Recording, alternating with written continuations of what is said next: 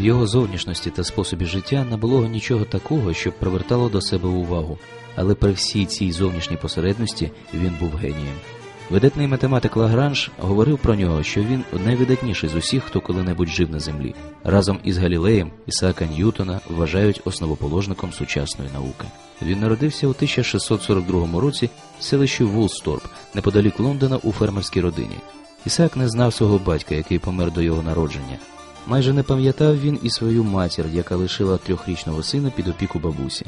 На Ісаака чекала звичайна доля англійського фермера, але родичі дали йому можливість отримати освіту. Після школи, де він не відзначався особливими успіхами, у 18 років Ісаак вступив до Трініті коледжу Кембриджського університету. Тут він вчився блискуче, хоча спочатку його студентське життя затьмарювало те, що він, як першокурсник, мав прислужувати старшим та більш заможним товаришам.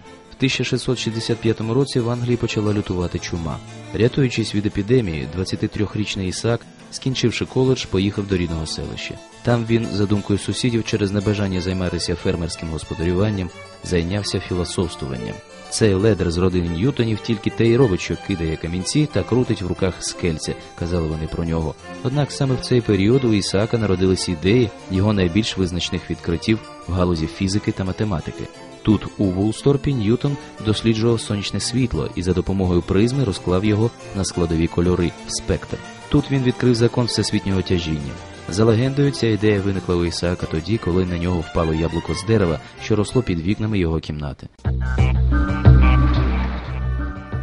Два роки по тому, повернувшись до Кембриджа, Ньютон незабаром отримав ступінь магістра та почав викладати в Трініті коледжі.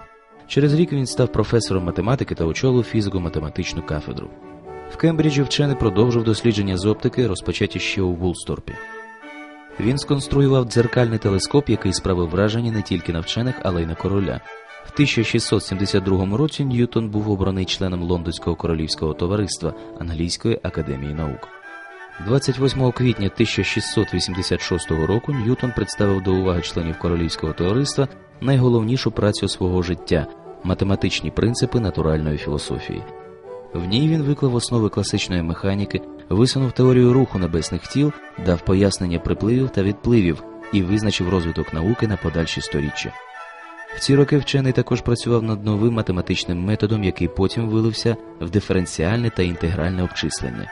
Цю ж тему незалежно від Ньютона досліджував і Лейбніц. Між двома вченими виникла суперечка про те, кому належить право першовідкривача. Вона затягнулася на довгі роки. У 1696 році 54-річний Ньютон переселився з Кембриджа до Лондона, адже його призначили директором монетного двору. Йому доручили керувати перечеканкою англійської монети. Завдяки Ньютону монетна справа Англії прийшла до ладу, за що йому надали довічне високооплачуване звання майстра монетного двору. Це поклало кінець скрутному матеріальному становищу Ньютона, однак віддалило його від науки. У 1701 році вчений став членом парламенту, в якому, правда, жодного разу не виступав за два роки засідань. Єдина фраза, сказана ним у парламенті, була адресована службовцю: Зачиніть вікно, щоб не дуло. У 1703 році Ньютон був обраний президентом королівського товариства. Чверть століття аж до самої смерті він лишався на цьому посту.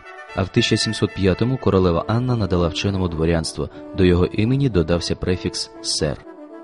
Праця захоплювала Ньютона настільки, що він часто забував пообідати, пізно лягав спати і витрачав на сон не більше п'яти годин.